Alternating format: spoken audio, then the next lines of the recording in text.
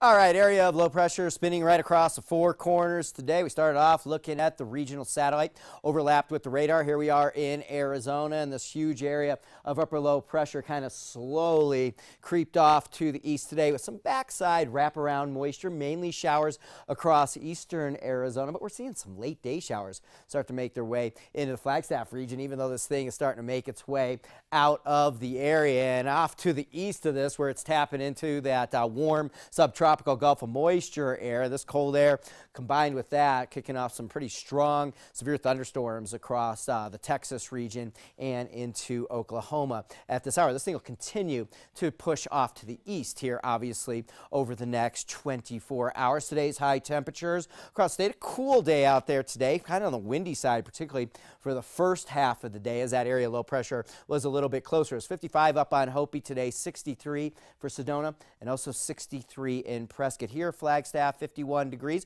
very close to uh, very normal for this time of year. Our early morning low, 28, and another nearly quarter inch of uh, precipitation in the bucket with the rain that we received from this storm system yesterday afternoon into the evening. And we even had a trace of snow out at Pulliam Airport here as it turned to a little bit of snow yesterday evening and overnight, but really uh, didn't see any evidence of that waking up this morning. Current look at the radar right now. Here we are in Flagstaff. Very uh, active still down along the White Mountain region, southeast of the I-40 there, and uh, off in eastern Arizona, but as I just mentioned, starting to see a few showers just skirt down right along the San Francisco Peaks and just west of Flagstaff, some very light rain. And then I went and looked up the uh, Bellemont uh, live cam, and you notice uh, the peaks were out of the clouds and now they're in the clouds. That's those uh, showers coming by right now, a little bit of snow up there on Humphreys. Temperature right now 46 degrees, mostly cloudy skies at Pulliam Airport,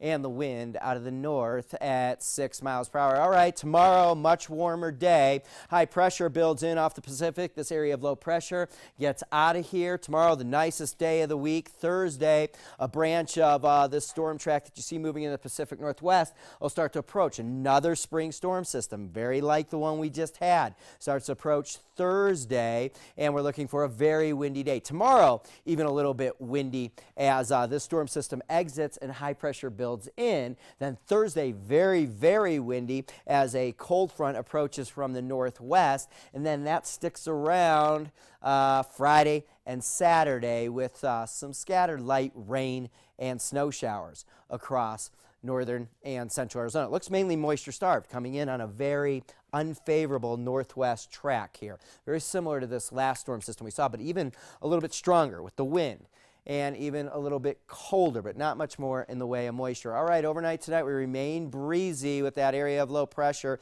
exiting the four corners, 27 degrees, very windy, particularly for the first half of tomorrow morning. I think we're seeing winds gust up around 40 miles per hour for the first half of the day. Much nicer, warm afternoon with the wind decreasing through our Wednesday afternoon. 61 for Sedona tomorrow, 85 in Phoenix, 69 for Payson.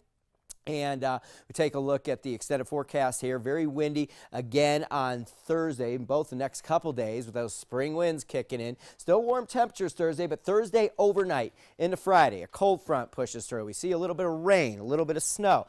Not expecting any accumulation. Friday, much colder behind the cold front, a little bit of snow showers. And on Saturday, the thing's slow to get out of here. Another kind of four corner uh, sit and spin deal and a little bit of rain showers sticking in around into Saturday, but uh, we're kind of out of it late weekend the way it looks now.